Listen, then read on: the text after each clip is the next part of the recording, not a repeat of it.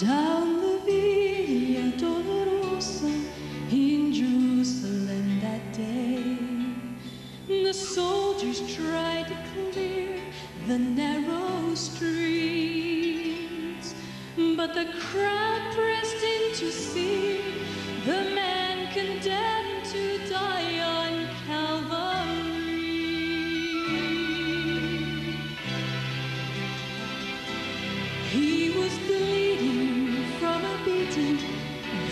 stripes upon his back, and he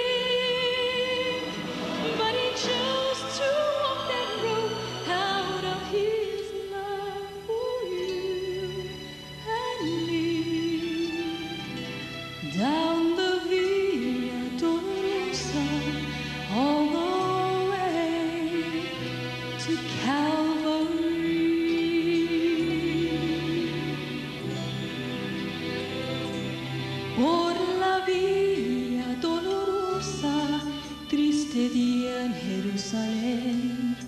los soldados le abrían paso a Jesús, mas la gente se acercaba.